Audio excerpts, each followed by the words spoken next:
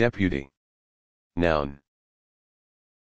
1 One appointed as the substitute of another, and empowered to act for them, in their name or their behalf, a substitute in office, a lieutenant, a representative, a delegate, a vicegerent.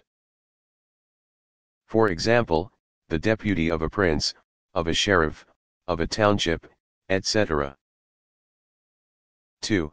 France, a member of the Chamber of Deputies, formerly called Corps Legislatif. 3.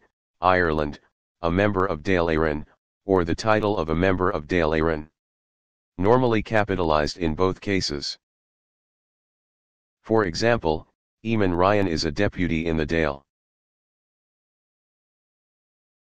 Deputy. Verb. 1. Informal, non-standard, to deputus.